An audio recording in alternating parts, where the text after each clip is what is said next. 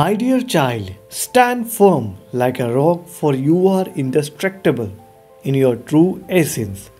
You are the Atman, the divine spark within you, connected to the very essence of the universe. Embrace the knowledge of your divine nature and let it empower you to face life's challenges with strength and resilience. Type Amen in the comments if you believe. Yesterday's history and tomorrow's mysteries are beyond your control. The only moment that truly matters is the present, the gift bestowed upon you by God. Cherish each moment and live fully in the present.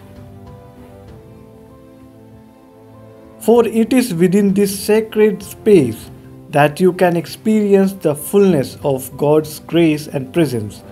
God the Almighty first planted a garden, a symbol of purity and abundance in this garden.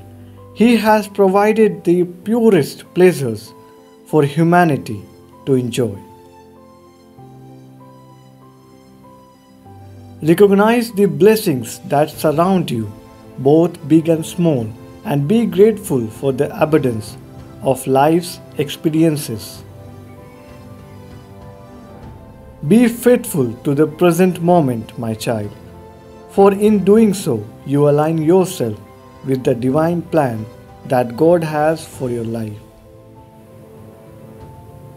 Frustration arises when you resist the unfolding of this plan.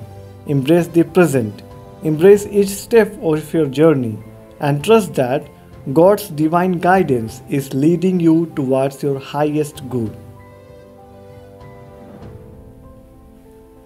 Type Amen in the comments and must subscribe to this channel and get blessed today.